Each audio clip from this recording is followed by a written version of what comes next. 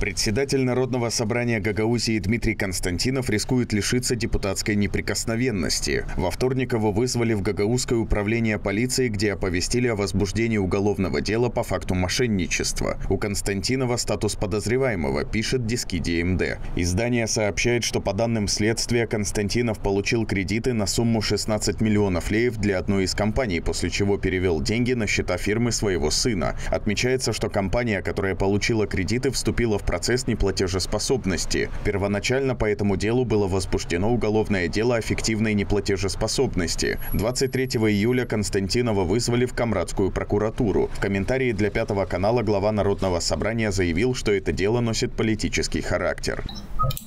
Это еще когда выбирали мы исполком, тогда мне предупредили, что если это чепуха полностью. А вы... Меня пугает. Вы были в полицию? Я был в полиции, да. Но не сегодня был. Я раньше был, я сегодня к врачу. Отметим, что по законодательству Гагаузии депутаты не могут быть задержаны, арестованы и обысканы на территории автономии без согласия Народного собрания.